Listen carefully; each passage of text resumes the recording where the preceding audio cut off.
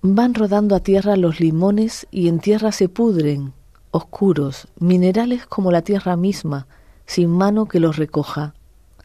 Apenas ayer eran oros pendientes, redondas y completas criaturas asomadas a la vida.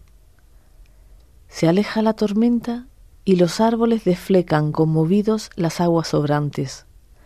Arroyos espontáneos surgen en busca de un cauce. Me pongo a contar, emboscados entre el verde, los frutos que han resistido el aguacero, asustados aún por el fragor de la naturaleza. Temblando, he recogido cinco o seis limones entre el barro. Un aire desteñido y limpio anuncia un nuevo día.